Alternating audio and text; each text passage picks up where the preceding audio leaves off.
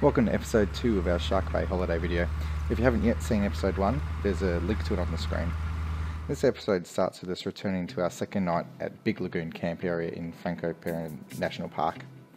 We got back from Cape Peron just before sunset, so we broke out the fishing rods and tried our luck fishing in the channel of the lagoon.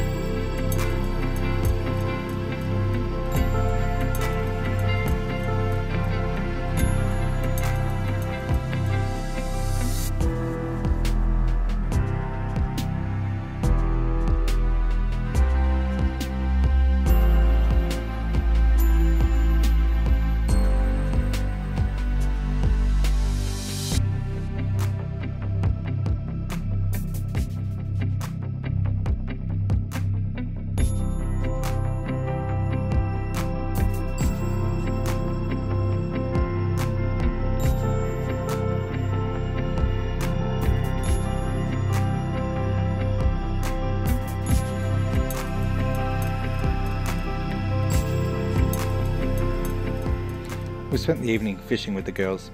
We didn't catch anything, but enjoyed the awesome sunset nevertheless. I don't think I'll ever get used to the Western Australian sunsets.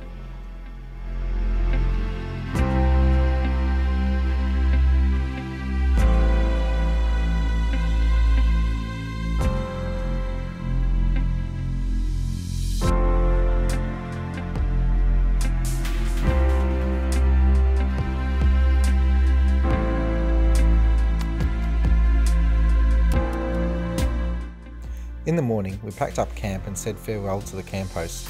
The couple looking after the campsite off- offered us a lot of support getting the Discovery back in working order. They couldn't have been more helpful. Leaving Big Lagoon was the start of our journey south to Perth.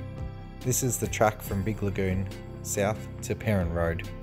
The track is in fairly good condition and Discovery had no trouble with 18 psi in the tyres. There's a tyre filling station at the end of the track I still brought out the portable air compressor which allowed me to fill up one side while Heather completed the other side with the air fill line.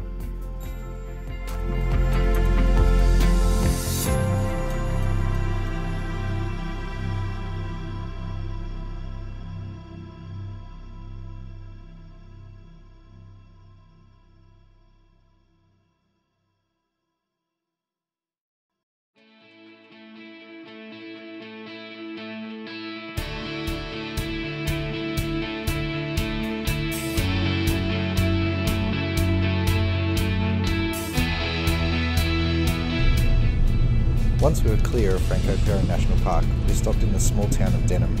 We topped up our fuel and grabbed something from the bakery for lunch. We also used the good phone reception to sort out our insurance claim, including uploading the dashcam footage.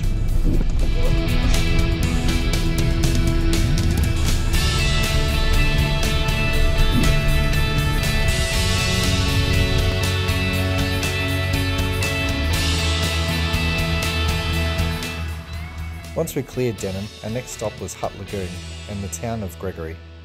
WesternAustralia.com says it's the extremely high level of salinity that gives the lagoon its unusual hue, and its vibrancy changes with the season and time of day. The best time to visit is on a clear day around mid morning or sunset. There are a number of places to stop and view this natural phenomenon along Point Gregory Road.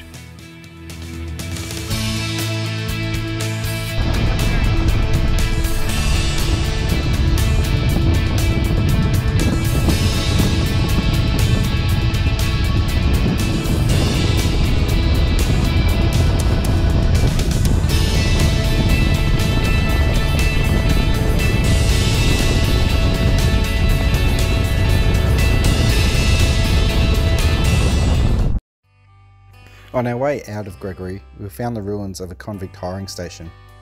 Wikipedia states the Lynton Convict Hiring Depot was the first convict depot north of Fremantle, Western Australia. It was established in 1853 with 60 ticket of leave convicts and guards. It was established to supply labour to the Geraldine lead mine, uh, 64 kilometres north of the site on the Murchison River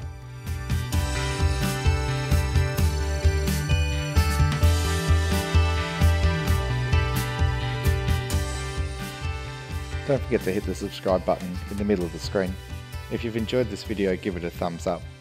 Leave a comment below if you have any questions or even to share your experiences in the area. See you next time.